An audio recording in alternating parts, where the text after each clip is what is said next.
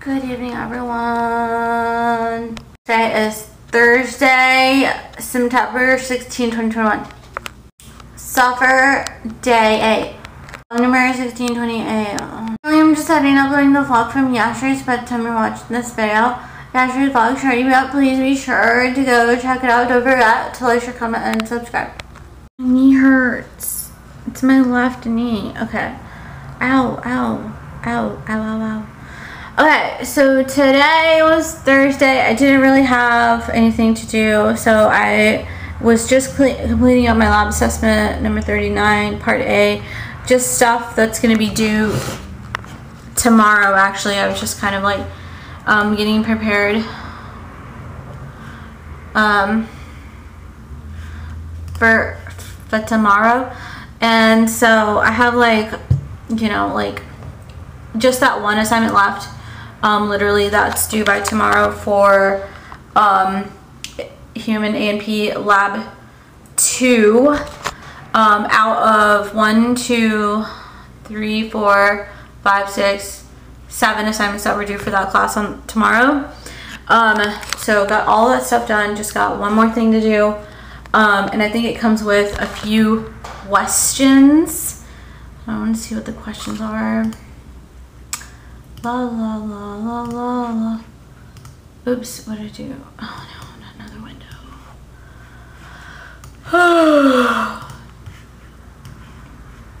and um, yeah, so it comes with um, like five questions. So I'm just like working on the, it's like a worksheet that's due for this particular assignment, the assessment exercise 39. Um, it's like the first question on there, but there's like four other questions, and I don't know if there's like anything else, like other worksheets that I would do for this particular assignment. Um, but yeah, I was just like doing this right now. Hold on, I'll show you guys. So this is um, endocrine structure and function. Um, so I had to draw um, like cells basically. So pituitary gland well, I had to draw like whatever is told me to do in a certain magnification and like all of the um, components of that um, like particular gland, I guess, you know? So you can see it. These are my drawings, you guys. Look, I'm an artist. Um, but yeah, so pituitary gland and hypothalamus, put all the labels, pituitary gland, 400X, anterior lobe, um, if you can even see my mouse. and then pituitary gland, posterior lobe, 400X, the thyroid gland, 400X. And then here, parathyroid gland, 65X and then adrenal gland, cortex, and medulla 75x with all of their particular components, right? Um, this actually I got out of the book, like literally, um, straight out of the book, like it gives me, the book actually literally gives me exactly what this uh, particular assignment is looking for um, in order that it's looking for it in so it works out really really well um, it's pretty much the most convenient convenient um, like homework assignment anyway so I still got the pancreas left to do I got an ovary and I got testes left to do and I think I got one more that goes here but I think it's gonna be whatever um, happens next in the book. So I've just reached to the micrograph of the adrenal cortex and the adrenal medulla. So yeah, I got all this to do. I just got home like a little while ago and I started working from this one here and then I did two more. So I did three. So it really shouldn't take that long. I think I got home around 9:30 or something like that. I really can't remember what time it was. Um so yeah. And for most of the day like I let's see what I do today. Oh, I was like super sleepy. Anyways, I didn't have like I have my mom, my my my mom's um sister-in-law basically she's here right um so she's here and so basically like sh like you know i like like pakistani food like i like to be able to eat at home like um home cooked food and stuff and so my mom's not here so she is doing that for me i guess um so i drove over there um let's see, I'm trying to think. Around 11, right? Because, like, as soon as I got up, it was like 11. Well, obviously, I was awake way before that. I didn't wake up right at 11. I think I woke up at 6, actually. But, like, um, I don't know. I don't remember exactly, like, what happened. I think I woke up at 11 and then, um, no, I don't know. I really don't remember. Um, but whatever. I think I woke up at 11 and as soon as I got up, I took my medicine and I just went over to their house and like ate breakfast over there. So I had um, a bunch of toast. Like, I don't even know. It's my my cousin's wife. So like this is the type of food that she likes to eat or like what they ate basically growing up at their house and it's just like literally like a third of a loaf of bread um, toasted. Um, so I would say like maybe, I don't even know, like seven or eight pieces of toast, toasted, and with one fried egg, and then a little bit of leftover egg from somebody else's food. My, her daughter's, I guess, food. My cousin's daughter her leftover eggs and it, it was like an omelet with like shallots and I think black pepper like crushed black um, pepper in it and um, yeah so I mean that was delicious and then like right after that of course I got really really sleepy I didn't really have a whole lot of other stuff planned but I was like still over there and I was just like well all right, I'm gonna take off. I'm gonna go back home. I'm gonna go to sleep. I'm so, so sleepy.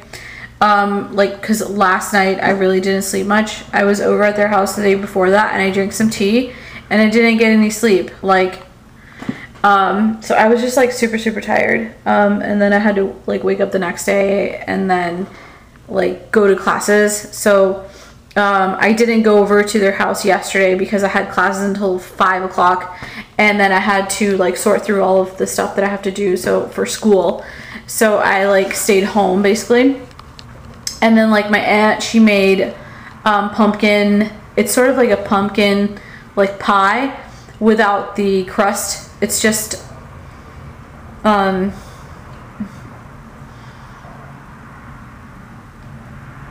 Um, sort of, but it, minus like all the cream and everything like that, like all the extra stuff. It's just like the pulp of it, and she just like sort of cooked it, and um, with like sugar and just sort of brine, browned it a little bit with sugar, and um, it's just super super delicious. It's called halwa. Um, it's a Muslim thing, and then it, um, uh, what do you call it? So yeah. It's just got like some sugar. It's a it's a dessert basically. So they made that yesterday, and my aunt was like, I had to cut those pumpkins all by myself. I was like, you weren't supposed to. I'm sorry. I was I I couldn't come over yesterday because I had like I have like a lot of stuff to do with my classes and everything, so I didn't come. And I was gonna cut those pumpkins for you. I mean, she's like, she's an older woman, you know, and like I I just don't like feel like having making her do anything basically.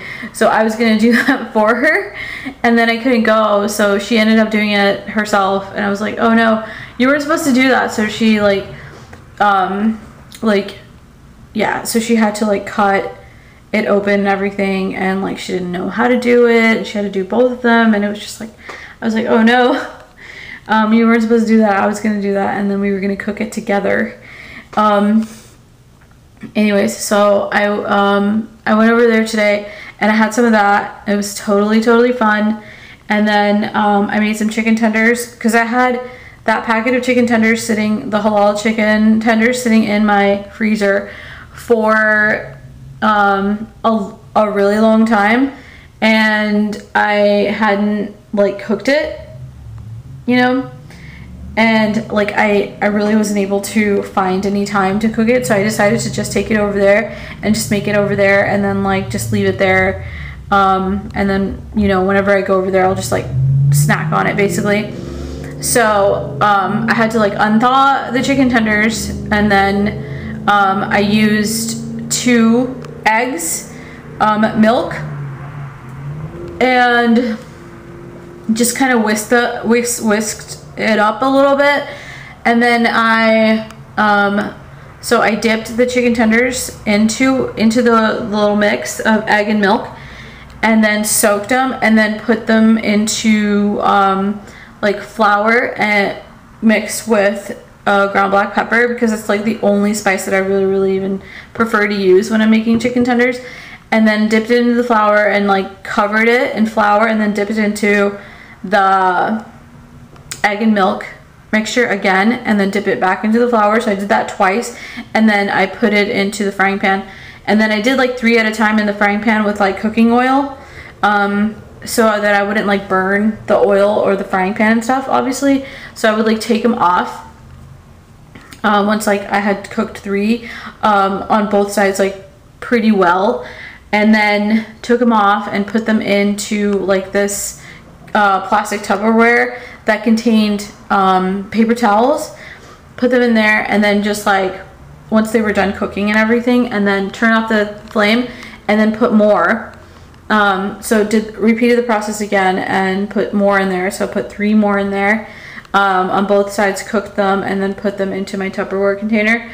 And then I had like four more. So it was like it was like three rounds of three and four and then took them off and they came out really really good actually. They came out really good. Like everybody liked them and everybody ate them and everything um, with ketchup because like my aunt was like well I really wish you would have put salt at least into the flour like the shake or whatever. And I was like well actually I think if you're gonna use like any kind of sauce you have to balance you know? Like life is all about balance. So you have to like you have to like consider that like like every single thing that you put into your body. So like if you're not going to use ketchup like at all, like you're 100% sure that you do not have ketchup at your house, I can see why you would have to absolutely have to like sprinkle some salt into you, your mixture.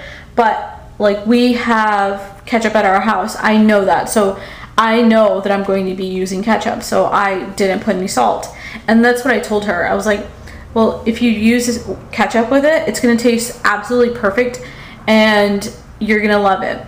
And she was like, yeah. So she ended up using the ketchup and she totally agreed with me. And it came out really, really good to her. Like she really liked it. Um, and then everybody else liked it. I liked it. So anyways, um, so I was doing that this afternoon. So I came back home like after eating breakfast, like after like a half an hour. I literally just ate breakfast and came home and then I went to bed and then like around five o'clock I went back over to their house and made the chicken tenders and I had like dinner. So we had like ground beef and potatoes um, that my aunt made. So um, I had that with like two brown breads and some water and I had like a couple of 7-Ups over there.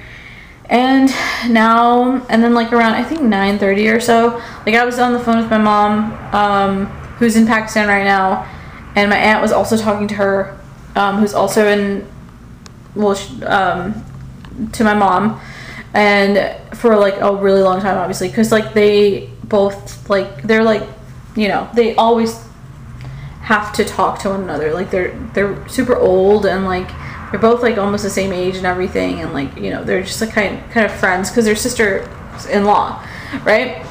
So yeah, so they always, always uh, keep in touch. They always communicate. Anyway, um, so she, they were on the phone with each other for like a really long time, and then um, I just like talked to her for a little bit, like talked to my mom, told her like how I was doing, what I ate, and what I had been doing all day, and like everything that I went down, just like I'm telling you guys, and um, yeah, and then I was like, I'm about to leave. So they continued. So then, anyways, I gave the phone back to my aunt. They talked for a little bit longer. And then, um, then like, I think I was like, I was getting sleepy, like just sitting there, you know, because I already ate and everything. And I was just like, I'm just, yeah. So, and then like, um, whenever they got off the phone, like, um, I got off the phone with my mom, I was like, yeah, I'm gonna leave in a little bit. She's like, okay, just yeah, just go home. It's getting late. It was getting late, like it's nine o'clock, you know, so it's getting dark out and everything. Um, so I just wanted to like be home like in a timely, you know, manner and stuff. So I come home and um, yeah, so I came home and I needed to take my medicine, so I took my medicine. And then basically like I wasn't sleepy at all, right? Like I just kind of like stayed awake through all the sleep. And um, like kind of just made myself like stay awake through it. And then got home and then just continued like I my desktop looked exactly like this um, when I came home like exactly the way I left it. So I just like picked up exactly where I left off and then like just started working um, on the slides and everything. And now it's like 11:44, so I just like wanted to blog and stuff and then um anyway teddy bear's asleep i made a, a cat there's like a cat outside and he meows like it's such a weird like desperate sounding meow but i figured out like it was happening i think in the morning or something and I didn't really respond to it. Or I think it was happening last night and I didn't respond to it. And then like I went downstairs this morning to go check out like where the meows were coming from and I wanted to go see if I could help the cat. And I think it actually belongs to somebody. So I was like, okay, thank God I don't have to like intervene. um this is the current state of my cat. Teddy. Teddy. He's totally asleep. I don't want to wake him up. And it's 11:45. So, and then it's Thursday. So I don't know if I'm gonna have to work tomorrow yet. I think I'll probably they'll they might call me in to come in to work. If they don't, um, I'm gonna be like stuck at home for sure. Let's see. So I have an exam coming up on Sunday, right? And then I have to do like a practice exam also. And then I have um, several assignments to do for um, A&P 1 um, for, for her. And then a practice exam and a quiz for nutrition. Um, 12, 16. So I'm to be doing that all day. Um, or if I don't have to uh, work, I'll be doing that. And then like um, I'll be here at home. If I have to work, I'll go to work and then come come home and do this. Um, but if I don't, then I'll be doing this and I'll just be like, just, I don't know, studying basically. Um, and well, on Saturday I have like four assignments to do for um, human anatomy and physiology too. I have four things that I have to kind of like submit and do. Um, so I'll probably get cracking on that um, as well if I have that much free time and then study whenever I don't have anything else to do. And then um, probably to sit for like a few hours, like four or five hours to just sit and study um, for the upcoming exam to make sure that I cover like enough ground um, and like answer all like the review questions and the study guide questions um, and like you know answer all those questions and then I'll like also read the book again you know um, and like study the pogles and stuff. Um, so yeah. That's that's what my weekend's looking like at this point in time. Um, yeah.